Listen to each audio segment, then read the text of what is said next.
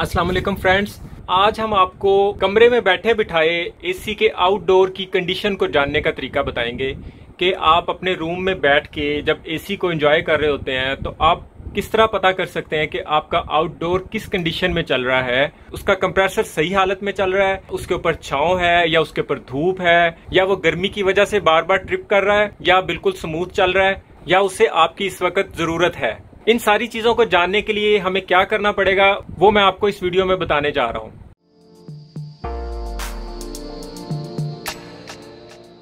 Friends हम जब भी एसी चलाते हैं तो हम अपने रूम में बैठ के रिमोट से एसी को ऑन कर लेते हैं और अगर वो ठीक चल रहा हो तो उसे इंजॉय करते हैं, अगर वो ठीक नहीं चले तो भी हम उसे बार बार ऑन करते हैं ऑफ़ करते हैं या यहाँ पे बैठ के खपते रहते हैं कि ये चल क्यों नहीं रहा।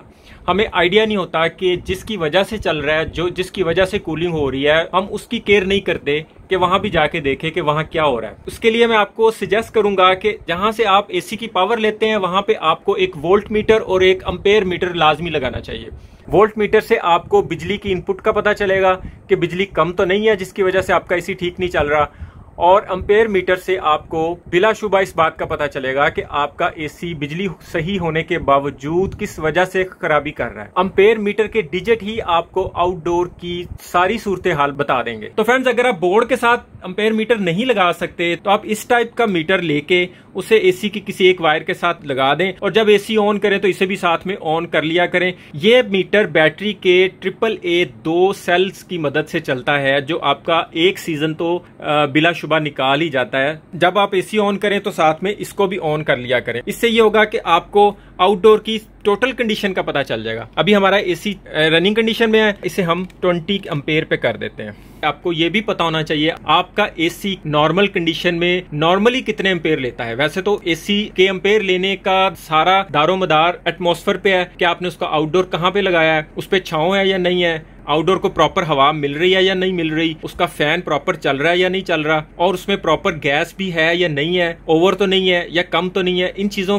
के हिसाब से ही आपका एसी अम्पेयर लेता है। और इसके साथ साथ गर्मी की शिद्दत भी। गर्मी की शिद्दत भी अम्पेयर को बढ़ा देती है। अगर आपका एसी दिन में सात आठ अम्पेयर पे चलता है तो ओबियसली वो रात को एक दो अम्पेयर कम चल, कम पे चलेगा क्योंकि रात को धूप नहीं होती मौसम दिन की नस्बत अच्छा होता है। रात को कोई भी एसी एक से दो अम्पेयर कम लेगा दिन में वही एक से दो अम्पेयर ज़्यादा लेगा। तो आपको आइडिया हो जाएगा कि आपका एसी कितने अम्पेयर लेता है तो आपने जब इसके अम्पेयर मीटर को ऑन कर देना है अगर उससे ज़्यादा अम्पेयर ले तो आपने समझ जाना है कि आउटडोर इस वक्त थोड़ा मुश्किल में है या तो उस पर धूप है या फिर वो ज़्यादा ओवरहीट हो रहा है तो उसको आपने जाके पानी लगाना है, इसके अम्पेयर कम करने हैं।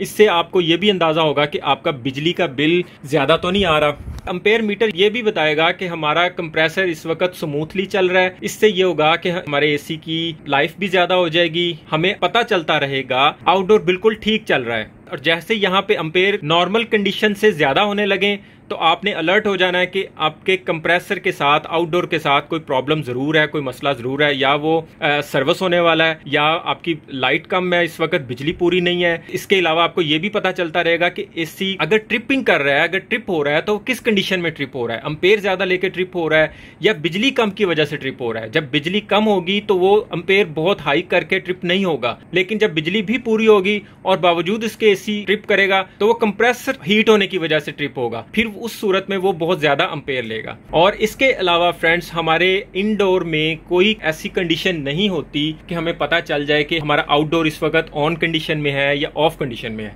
कुछ मॉडल्स आते हैं जिनमें इस जगह पे लाइट आया करती थी, जिससे पता चल जाता था कि आउटडोर का कंप्रेसर ऑन है। लेकिन मोस्टली अब ऐसी कोई लाइट नहीं आती। तो हमें ये अंपेयर मीटर ही बताएगा कि आपका इस वक्त आउटडोर ऑन है। इन केस यहाँ कूलिंग नहीं हो रही और आउटडोर भी ऑन है तो आपको इस बात का भी अंदाज़ा हो जाएगा। हमारे एसी में गैस की प्रॉब्लम है। चार वोल्ट से कम पे चल रहा है तो समझ लें आपकी गैस कम है। अगर एसी कूलिंग भी नॉर्मल कर रहा है और अंपेयर बहुत ज़्यादा ले रहा है तो इसका मतलब ये होगा कि आपका या तो कंप्रेसर वीक है और या फिर इसमें गैस ओवर चार्ज हुई हुई है। तो फ्रेंड्स मैं सजेस्ट करूँगा आप अंपेयर मीटर अपने एसी के साथ लाजमी लगाएँ ताकि आपको इसकी टोटल कंडीशन के बारे में पता चलता रहे। उम्मीद है आपको वीडियो बहुत फ़ायदेमंद लगी होगी। फ्रेंड्स एयर कंडीशन के मुतलिक बहुत सारी मालूमती वीडियोस मेरे चैनल पर मौजूद हैं। इसके ट्रिप करने का मसला इंडोर और आउटडोर की सर्विस करने की वीडियोस, और जो एसी चलते चलते एकदम हाई एम्पेयर लेने के बाद ट्रिप करता है, उसकी वीडियो भी मौजूद है। आप मेरा चैनल विज़िट कर सकते हैं और वहाँ से सारी वीडियोज़ को व्यू कर सकते हैं। आज के लिए इतना ही, अपना और अपनों का ख्याल रखिएगा। बहुत बहुत शुक्रिया। अल्लाह हाफिज।